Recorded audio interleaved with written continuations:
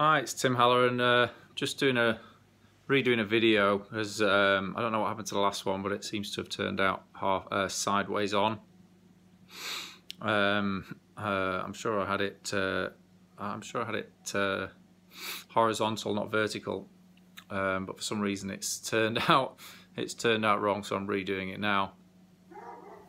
Uh, so my video was um, basically about shifting my mindset. I, have uh, just done some weight training today, and it actually um, does work wonders. Actually, if you've got yourself into a really negative state, and uh, often I'll find I'll get into a negative state when I'm uh, getting stressed out with the computer, and so I'm getting more and more stressed out over the day, um, and yet I'm I'm trying to achieve things. Um, and I think it's a it's a pattern I've uh, I've created in my life before is is struggling a lot, uh, creating a lot of pain and anxiety and uh, inner inner conflict to try and achieve something. And uh, it's a belief I've picked up from uh, years ago.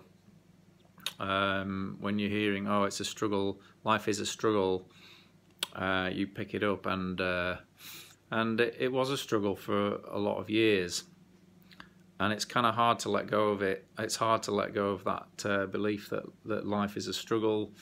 Um, there's something to do with uh, feeling worthy that you feel like you have to have surmounted a bunch of obstacles and uh, gone through a lot of pain and anxiety in order to get somewhere. And uh, it's something that's really hard to shake off. Um, there's a couple of uh, tools that I use to do it. Um, one is the mantra money comes easily and effortlessly.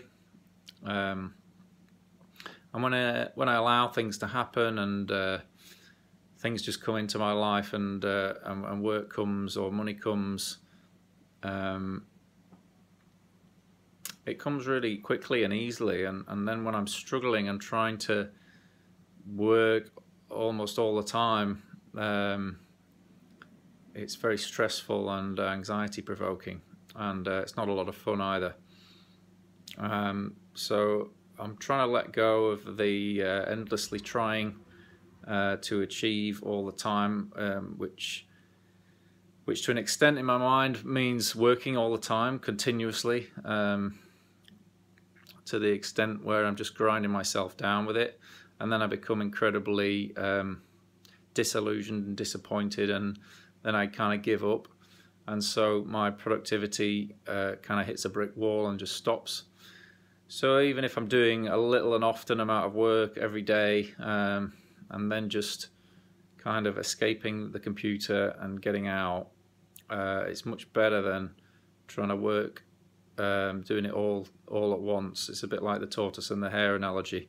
If you try and rush at it, then uh, you burn out. Whereas if you do a little bit every day, um, it, over over months and years, it has uh, much of a, a, greater impact on your business if you're running an online business, for example. Uh, so that's it for today. I'm going to resubmit this video and I'll see you tomorrow. Thanks for watching. Bye for now.